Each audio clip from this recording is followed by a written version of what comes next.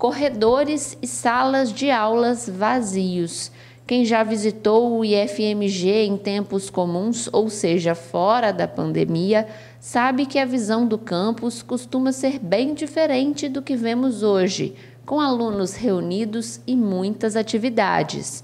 Mas a pandemia alterou essa realidade e, desde o ano passado, os estudantes estão em casa.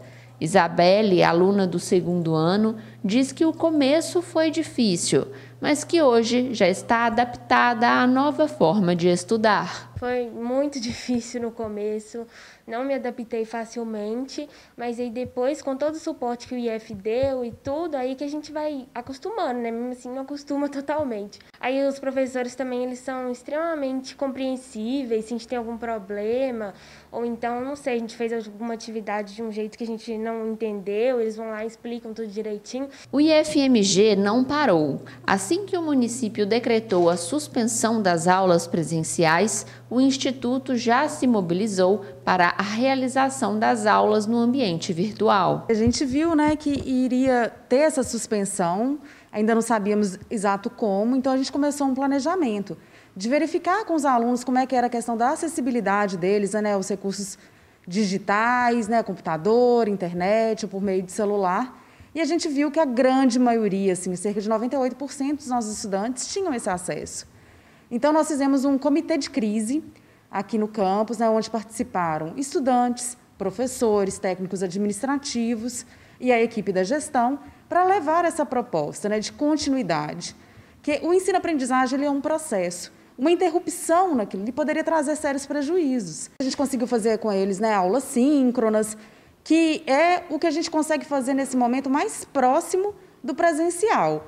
Né? Nada substitui o presencial, isso é inquestionável é a gente tentar suprir um pouco essas lacunas, mas nada vai substituir o presencial de fato.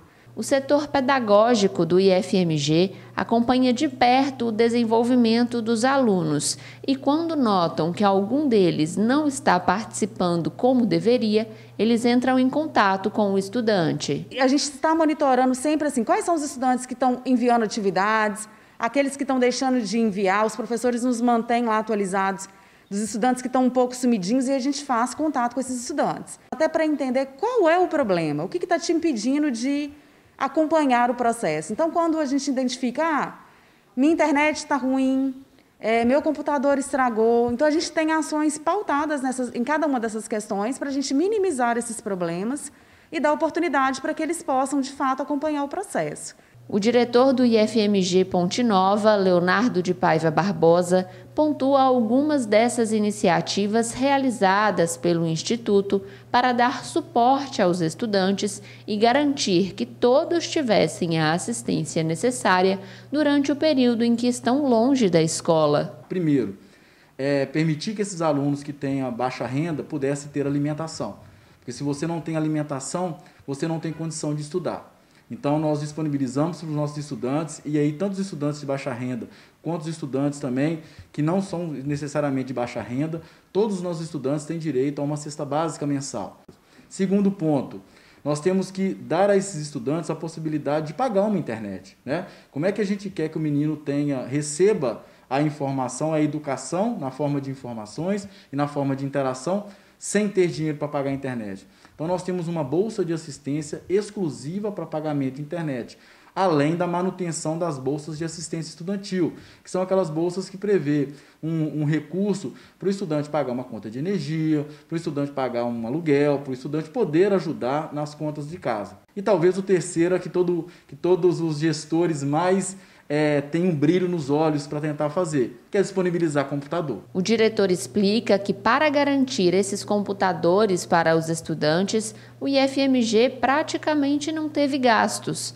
Todos vieram de doações de instituições públicas e foram obtidos por meio de um portal do governo federal feito especialmente para filtrar esses materiais disponíveis para doação.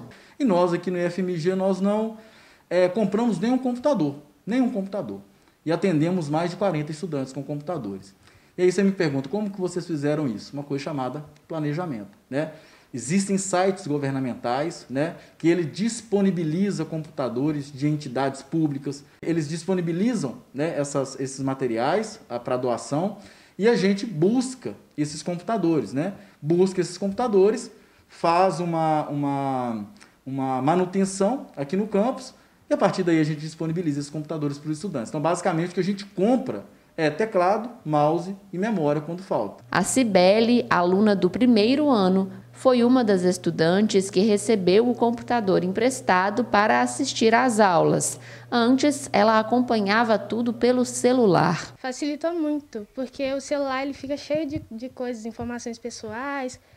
Aí, às vezes, eu assistia às aulas e acabava chegando uma ligação, eu tinha que desligar. E eu perdi muitos arquivos também no celular. Às vezes, acabava a bateria, eu perdi a atividade. Então, eu ficava um pouco desmotivada, eu ficava pensando, será que eu vou conseguir entregar isso aqui a tempo? E o computador me ajudou muito, porque agora eu estou conseguindo entregar as atividades, assistir às aulas e é tipo um computador para escola mesmo, então tá tudo certo. E embora a Cibele e a Isabelle já estejam adaptadas à rotina de estudos online, o que elas mais querem é que as aulas presenciais voltem logo. A Isabelle só teve dois meses de aula no campus já a Cibele ainda nem conhece os colegas pessoalmente. É muita ansiedade, ainda mais eu, né, que fiquei lá dois meses só praticamente. Estou muito ansiosa para chegar lá. Eu já fui lá uma vez, mas foi um tempo atrás e eu tô louca para chegar lá e conhecer todo mundo pessoalmente. Tomara que aconteça rápido, né?